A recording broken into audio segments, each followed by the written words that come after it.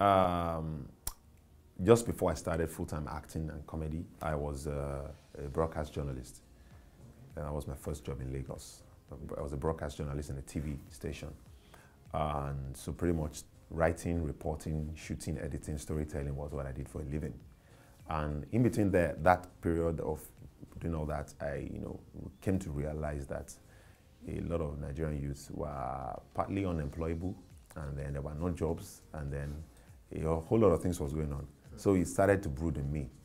And then observing people around me also doing impressions of people like I told you. So just about after the time I started my job as a journalist and then moved to an online TV platform to be a content creator with them, it almost happened accidentally, you know. So I had always started getting interested in things about interviews, interviews, job interviews. I was very more comfortable with interviews.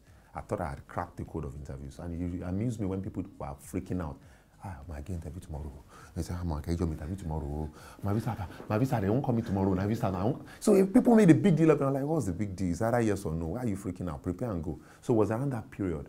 And lo and behold, there was a day I would be freestyling as usual with my colleagues at work. I freestyle one day and they were on the floor. I'm like, what's so funny? He said, you should see yourself. You know, you are killing us. I'm like, okay, fine, bring the camera, bring the sound, let's record this thing and start. That was where it started from.